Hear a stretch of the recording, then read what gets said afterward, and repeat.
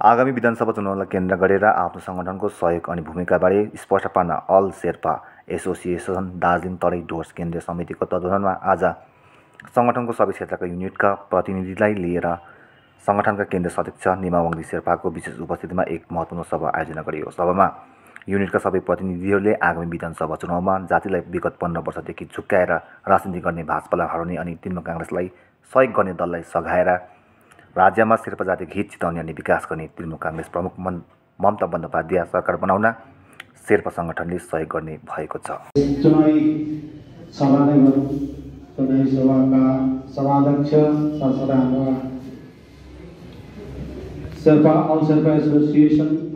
समितिका शिरोमणि श्री निमाउदी शेर्पाज्यू साथसाथै मञ्चमा विराजमान हुनुभएका केन्द्रीय समितिका कार्यकारिणी समिति साथै साधारण सदस्य अनि लगायत आज यस सभामा उपस्थित हुनुभएका सम्पूर्ण शेर्पाको फेरि दोहोऱ्याउनु मिल्दैन।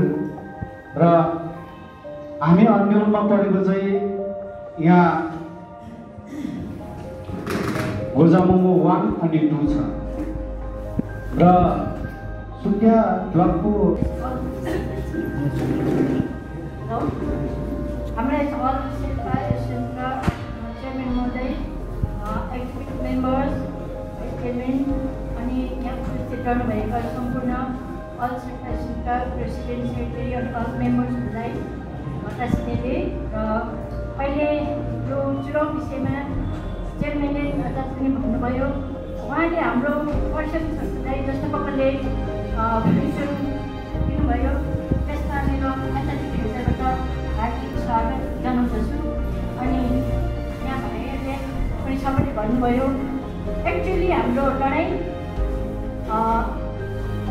विनन्तीमा र अनि उस नभएर इमोसनमा नभएर अहिले टिएमसी अनि भाजपासँग चलिरहेको चलिरहेको छ यसर्थ हामीले कुनै पनि प्रकारले यो साङ्गेले कस्तो हुन्छ भन्ने कमाउँदै त्यसले राखेर हामीलाई शेर्पा जाति नै कसले सर्वप्रथम हाम्रो अल शेर्पा एसोसिएसन दार्जिलिङ सभापति उहाँको अनुमति र हाम्रो मञ्चमा बस्नु भएको साथी र विशेष गरेर टाढा टाढाबाट आउनुभएका हाम्रा सदस्यहरू है मेम्बरसिप र सबैलाई स्वागत जनाउँदै र विशेष गरेर यो भोटको बजारमा दुई शब्द बोल्नै पर्छ।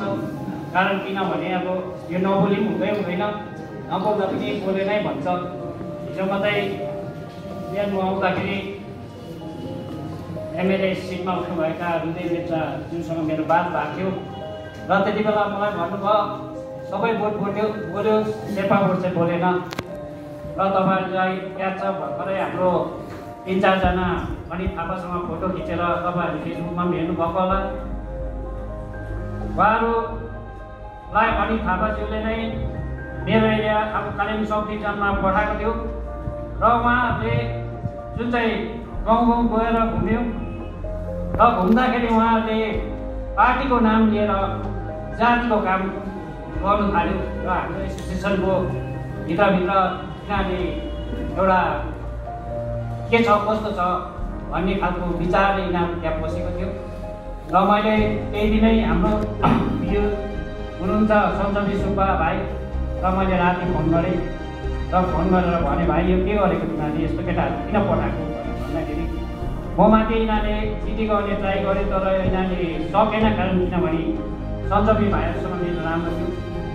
र विशेष गरेर म यहाँबाट अब मञ्चबाट भन्न सक् चाहन्छु हाम्रा जुन चाहिँ अब जिटे टुका चेयरम्यान साहब छैन उहाँहरूले पनि यो खालको अब भन्नु पर्दाखेरि अलिकति गाली गरेको जस्तो हुन्छ जस्तै अब भतुवाहरू जस्तो अब तिनीहरूलाई लिएर हिँड्यो भने भोलिको दिनमा उनीहरूलाई हामी आज बारबडी भवनमा आउँदो फोर्थ कमिङ एसेम्ब्ली इलेक्सनलाई लिएर एउटा शेर्पा अल शेर्पा एसोसिएसन दार्जिलिङ तर्फबाट कुनै प्रकारको एउटा यो नहुँदाखेरि आज हामीले राख्नु पऱ्यो।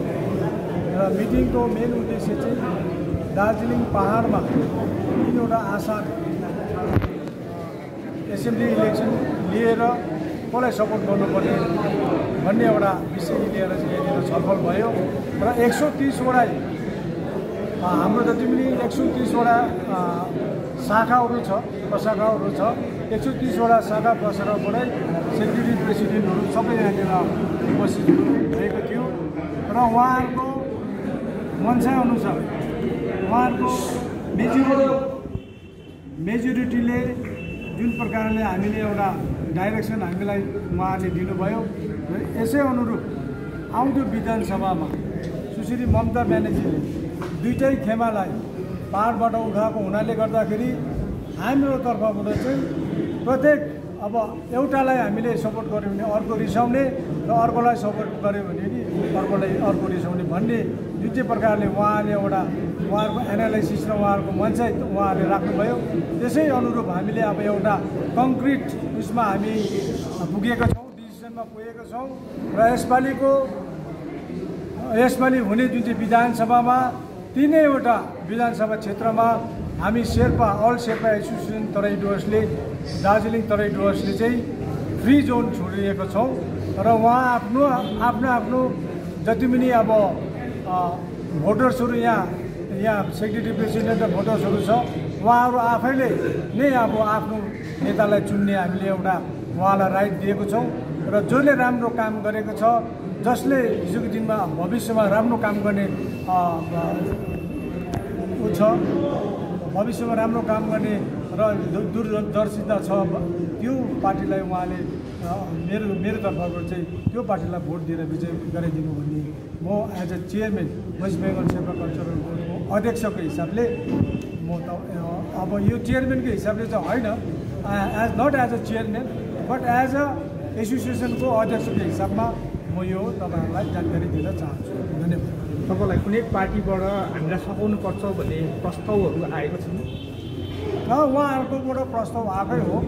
र हाम्रो मान्छेहरू के छ भने यहाँनिर कोही एकमा छ कोही दुईमा छ। बुझ्नुभयो त? अब हामी एसोसिएसनमा भए तापनि उहाँहरू कुनै न कुनै पार्टीको सङ्गठनमा हुन्छ हुन्छ।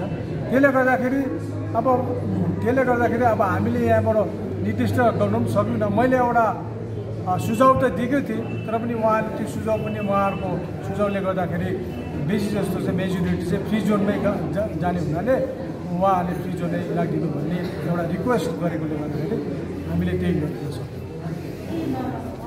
भनेपछि तपाईँको शेर्पा एसोसिएसनको सदस्यहरूले कसैलाई पनि भोट गर्न सक्छ? उनीहरूले रुचाएको पार्टीलाई? रुचाएको भन्दाखेरि ममता ब्यानर्जीले दुइटै खेमालाई उतारे उतारेको छ नि त फिल्डमा त अब त्यो अरू पार्टी बाहेक दुइटैलाई चाहिँ हाल्नु पऱ्यो जसलाई मनपर्छ त्यसलाई हाल्नु पऱ्यो यसमा तपाईँहरूको अब विशेष बिजेपी छोडेर चाहिँ। तपाईँहरूले जो तृणमूलसँगको अब एलायन्स छ त्यो पार्टीलाई गठबन्धन जसको छ। गठबन्धनको धर्म निभा निभाउँदै उहाँले दुईवटा खेमालाई चाहिँ सपोर्ट गरोस् भन्नु र विशेष यो अब बिजेपी बारे चाहिँ तपाईँहरूको के छ अब एउटा सोच छ बिजेपी बारे चाहिँ के भन्नुहुन्छ तपाईँ? बिजेपी चाहिँ तपाईँको के हुन्छ भने हामी त अब जेनरली हामी बुद्धिस्ट हौँ शेर्पाहरू बुद्धिस्ट हौँ अनि हाम्रो माइनोरिटी बुद्धिस्टै हो। त्यसले गर्दाखेरि जुन प्रकारले हिजो अस्ति विजयवर्गीय आएर नेपालको एघार जाति अब उसलाई ने दार्जिलिङ कुन चाहिँ जग्गामा पर्छ उसलाई भूगोलको इतिहास र भूगोलको उसलाई ज्ञान छैन भनेदेखि अब उसले भोलिको दिनमा यहाँ कस्तो प्रकारले कसरी विजयवर्गीयको त्यो शब्द त तर टङ स्लिप भएको जस्तो छ त। जस्तै उसले टङ स्लिप नेपाली एउटा नेसनल लिडर भएर टङ स्लिप कसरी हुन्छ? अब। हामी हुन कसरी सक्छ? उसलाई उसलाई इतिहास बारेमा कुनै ज्ञानै छैन। दार्जिलिङ कहाँ पर्छ नेपालमा पर्छ कि इन्डियामा पर्छ उसलाई थाहै छैन। कस्तो कहाँ पर्छ जस्तो लाग्छ दार्जिलिङ? दार्जिलिङ त अब सत्तर वर्ष त भइसक्यो इन्डियाको के अरे के अरे उयो खाएको रोयल्टी खाएको दार्जिलिङको बासीले अन्त कहाँ चाहिँ पर्छ?